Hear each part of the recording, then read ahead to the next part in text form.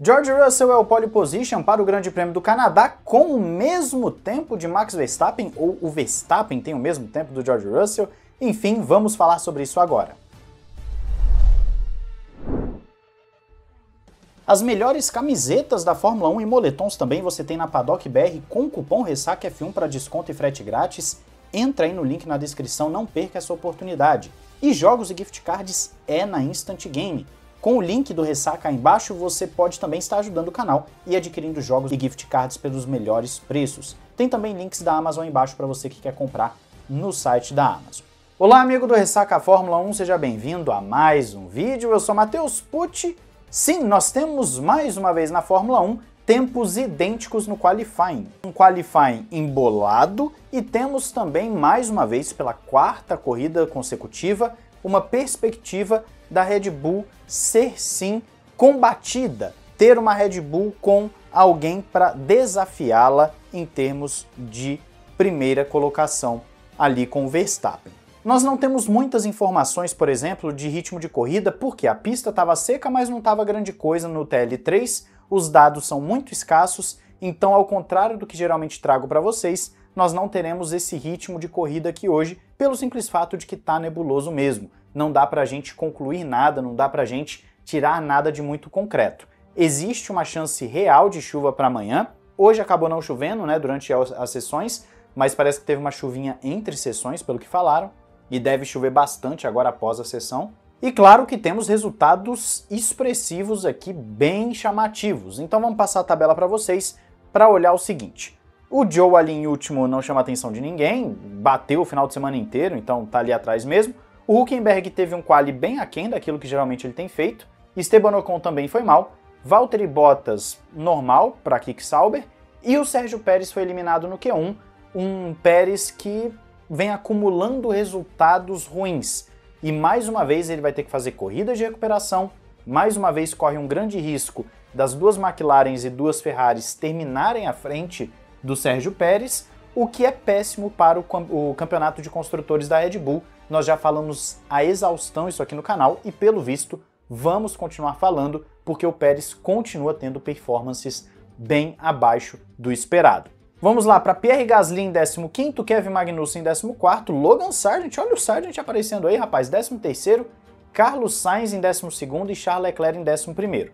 Não preciso nem dizer que uma decepção tão grande quanto a do Sérgio Pérez é justamente a da Ferrari. A Ferrari chegou no final de semana tida aí pela imprensa como uma das favoritas, se não a favorita, por ter um carro que lida melhor com solavancos e tudo mais. Só que essa pista mais fria, essa temperatura mais amena, parece não ajudar muito o carro da Ferrari, além de que eles estão sofrendo muito com acerto. Os dois pilotos reclamando bastante, errando bastante, e nós vimos isso no quali tranquilamente. Eles simplesmente não conseguem extrair algo de muito bom desse carro da Ferrari no Canadá até o momento. E também um detalhe importante: eles saíram para o Q2 na sua última volta com pneus usados, talvez achando que iriam passar com certa tranquilidade, mas no final das contas acabaram pagando o pato, até porque a diferença não foi tão grande assim no Q2 o, em termos de tempo de volta, né? Isso aí com o pneu novo, se você não erra e tudo mais, dá para tirar essa diferença, mas o próprio Carlos Sainz falou também que nas simulações eles já estavam vendo que não estavam rápidos, então, pelo menos em ritmo de classificação, a Ferrari foi totalmente decepcionante. Pode até ser que a configuração deles privilegie uma corrida na chuva, por exemplo? Pode ser. Pode ser o que aconteceu também com o Pérez. Só que, de qualquer forma, é um prejuízo enorme para uma equipe que chegava como uma das favoritas e agora, se quiser alguma coisa, vai ter que fazer uma corridaça de recuperação.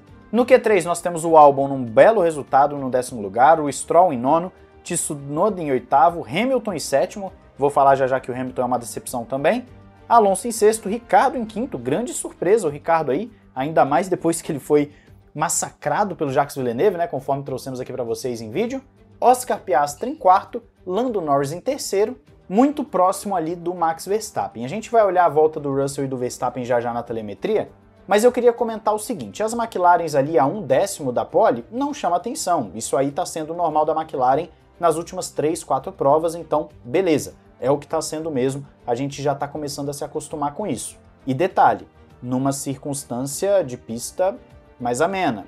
Isso é bom, significa que a McLaren está funcionando em todas as probabilidades, todas as possibilidades.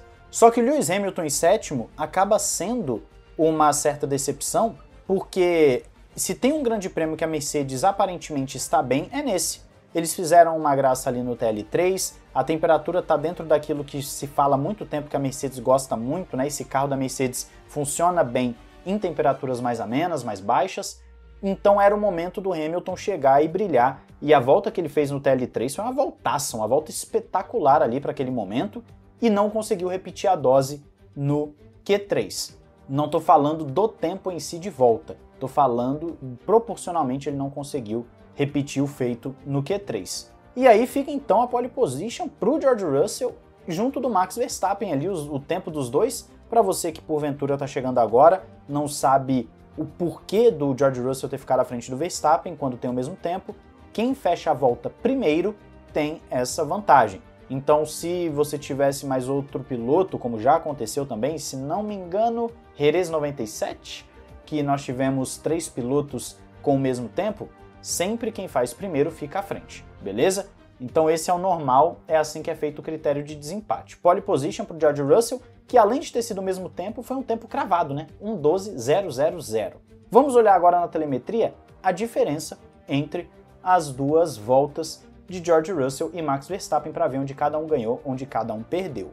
Vamos lá, você está vendo aí o mapinha então da volta do George Russell e também do Verstappen, os dois com 1.12.000 você vê que nas retas dá sim George Russell, uma velocidade maior, curiosamente, do piloto britânico. Quando a gente vem aqui para o gráfico de velocidade, aí você vê algumas peculiaridades. Por exemplo, o Verstappen, no final da reta principal, quando ele abre a volta, ele tem uma velocidade mais alta, 309 contra 303. Repare que nas outras retas você vai ver que a velocidade fica muito mais parelha, 273 para os dois sendo que o Russell começa a frear um pouco antes aqui, começa a perder velocidade um pouco antes do Max Verstappen. Na outra reta, o Russell vai mantendo uma velocidade maior durante boa parte e mais uma vez ele começa a perder velocidade antes do Verstappen.